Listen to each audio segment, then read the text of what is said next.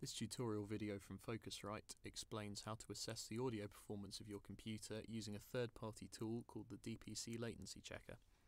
The first thing you need to do is to download this tool from um, Thesycon's website, which is mentioned above, and then to open it just double click and you should see some bars starting to scroll across the screen.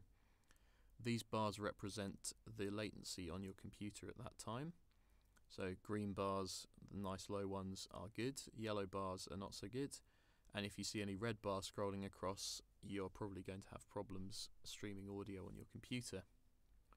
Now the way in which Thesycon recommend improving the performance on your computer is to try disabling devices one by one in Device Manager and to see if this has any effect on the performance of the DPC checker.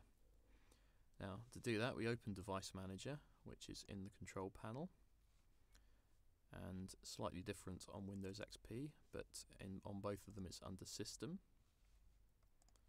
and if we move these so we can see both windows side by side we can see if there's any improvement. Uh, the kind of devices that are worth um, disabling to see if it makes any difference are things like network adapters, your built-in sound card, modems, so if we go, we've got some network adapters here. To disable them, you just right click and select disable. As you can see, disabling that has created a red spike on the DPC latency checker, just as the computer is busy doing other things. Let's just disable everything in the list.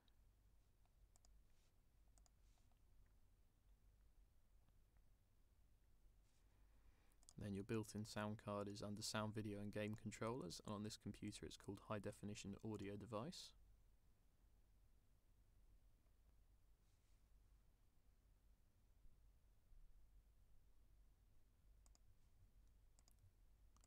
And then if we disable the modem as well